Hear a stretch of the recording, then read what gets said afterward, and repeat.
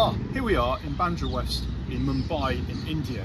And have a look at this. I'm stood here on a rooftop and just looking around here, it's such an amazing, vibrant city. But something I really find amazing is having a look at the greenery, which you don't see in lots of cities. But here, very lucky to be standing in one of the suburbs, quite a wealthy suburb, and they've got here a roof terrace, which is something that is quite rare in areas like this. And when you're actually having a look around, you can see lots of high-rise buildings, not no space for gardens, uh, Mumbai, very densely populated with over 25,000 people per square kilometre, meaning lots of people living in close confinement in this area.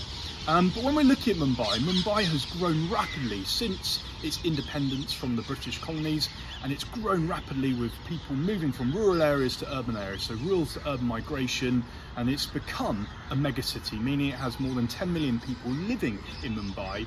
It's got over 12 million people meaning that it is a megacity. And why has it grown so rapidly? So when we look at reasons for this, we look at either push and pull factors. So push factors are reason people to be pushed away from an area. So that could be, for example, a natural disaster or war. People are pushed away. Or pull factors where people are attracted to an area.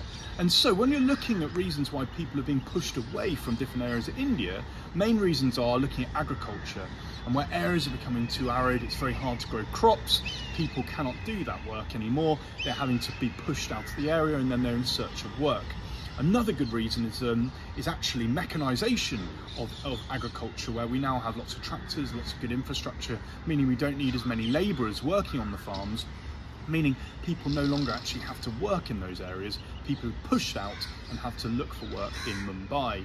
And the last reason is a lack of services, lack of doctors, lack of schools, lack of basic infrastructure that people need, meaning that people are pushed out in search of those services. That then brings me on to the pull factors for Mumbai.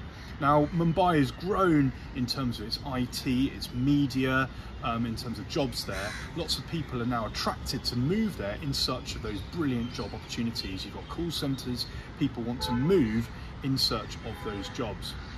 Now, something that can happen though with that is that idea of bright light syndrome where people are attracted to these areas in search of work.